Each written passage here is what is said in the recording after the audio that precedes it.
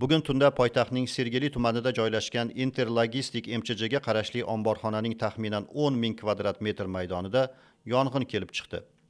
Ichki ishlar vazirligining rasmiy axborotida yong'inning zarba to'lqini degan jumla ishlatilgan. Ana shu to'lqin natijasida omborxona yon atrofida joylashgan ko'p qavatli uylarga binolarga hamda transport vositalariga shikast yetdi. Eng ayanchlisi hali voyaga yetmagan fuqaro vafot etdi. Bu mudhish ma'lumot sergeli tumani hokimligi tomonidan ham tasdiqlangan.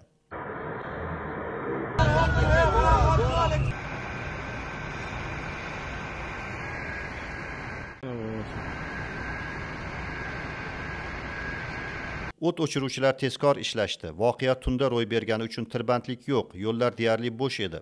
Ana shunisi ham qo'l keldi. O'n oltita yong'in qutqaruv ekipaji va uchta avtonarvonda yong'inni bartaraf etishga kirishildi.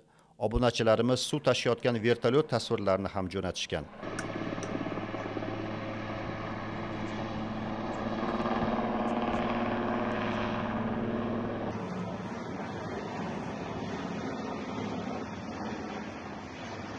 Yong'in shu qadar kuchli ediki uni qurshab olishning o'ziga ikki soatdan ortiq vaqt ketdi. Favqulodda vaziyatlar vazirligi xodimlarining harakatlari bilan yong'in maydoni qisqartirib borildi.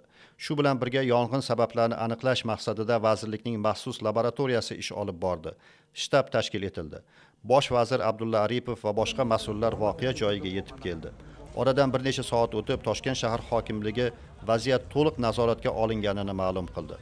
Jarohatlanganlarga tibbiy yordam ko'rsatilayotgani aytildi. Manga katta o'g'limga ozgincha zarar bo'ldi.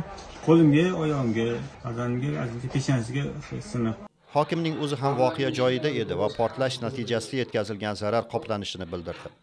Moddiy zarar ikki uch kun ichida qoplanadi. Bu muammoni hal qilamiz degan shavkat umurzoqov. Tasvirlarga qaraganda moddiy zarar ko'lami oz emas.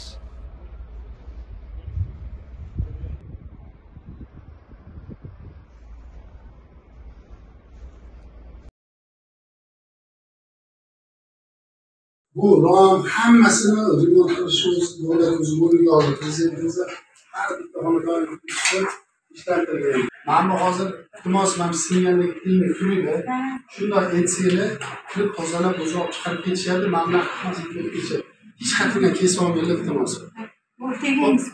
Iltimos.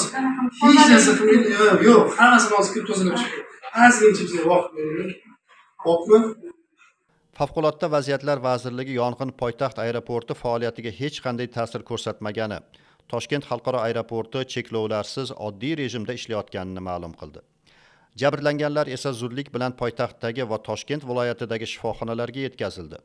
Sog'liqni saqlash vazirligining dastlabki ma'lumotlariga ko'ra voqea oqibatida bir yuz oltmish uch kishi jabr ko'rgan. Qurbon bo'lgan o'n besh yoshli o'smir esa shifoxonaga tiriklik alomatlari bo'lmagan holda olib kelingan. Quruvchilar massifining o'zida ham mobil tez yordam punkti tashkil etildi. Umuman olganda esa bemorlar orasida o'ta og'ir tan jarohati olganlar yo'q deyiladi bayonotda. Toshkent metropoliteni yong'in yuz bergan hududga yaqin joylashgan quruvchilar bekati yengil shikastlangani ammo bu holat yo'lovchi va poyezdlarning harakatiga ta'sir ko'rsatmaganini ma'lum qildi. Shavkat mirziyoyevning topshirig'iga muvofiq ushbu favqulodda holat sabablarini o'rganish va talofatlarni bartaraf etish maqsadida hukumat komissiyasi tuzildi.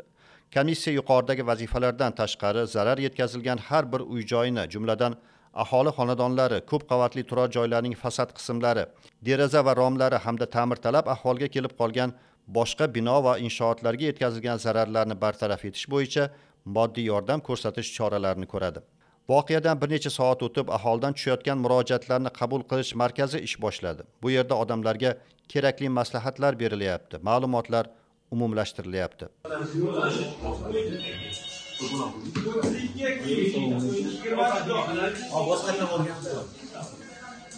hamma narsadan xulosa yoki saboq chiqarish mumkin. Tundagi portlashdan olinadigan xulosa shuki juda ko'pchiligimiz ya'ni oddiy aholi bunday paytda nima qilish kerakligini bilmas ekanmiz. Ayrimlar jon holatda yosh bolasini ko'tarib ko'chaga yugurib chiqdi. Boshqalar telefonga syomka qilish maqsadida voqea joyiga chopdi. Ko'pchilik sarosimada nima qilishini bilmay qoldi. Ba'zi birovlar esa odatdagidek bilag'onlik qilishni boshladi. Xuddi o'z ko'zi bilan ko'rgandek samolyot portladi deganlar ham bomba qo'yilibdi deganlar ham bo'ldi. Yuqorida eslaganimiz favqulodda vaziyatlar vazirligining aeroport odatiy rejimda ishlayapti degan bayonotiga mana shu asossiz vahimalar sabab bo'lgan edi. Daryo voqealar rivojini kuzatib boryapti.